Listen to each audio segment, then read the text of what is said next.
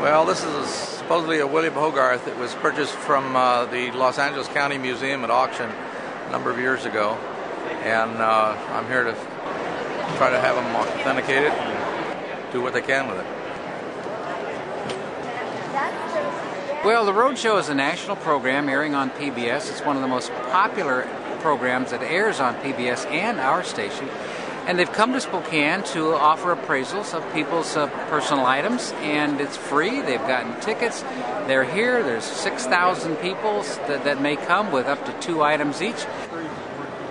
Uh, the lady, the lady I got this from, said that her husband took it out and shot it at a tree, big tree from 40 foot away, and it went clean through it, and that's when he put it in the attic. It's been there for 45 years. This would be probably, you know, right in the range of, for this one share of 150 to 200 dollars, 150 dollars too.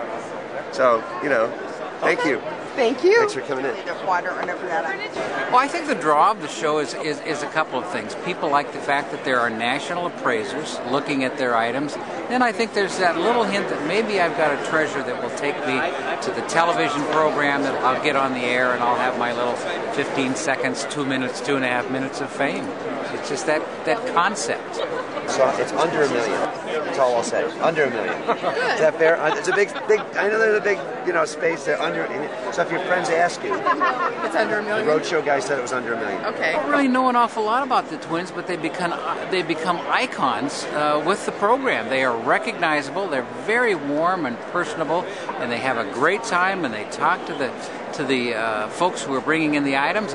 Oh, it's good. I'm the handsomer one. Look at that. You know, he's, he's got his, his nose. He He needs has got ma- like he a needs ma- dimple on it. he needs makeup. He needs You know? makeup. Look at that. And look, I got to fix this hair. He's got to got to work in got that. something on so- your teeth. Talk to you later.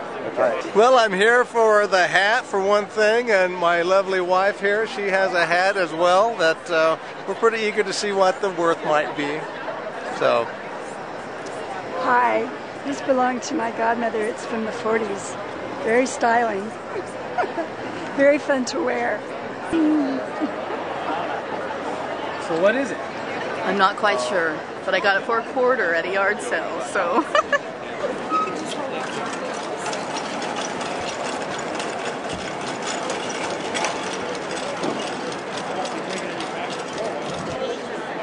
what might be a little, little shorter line for you. Let's try this.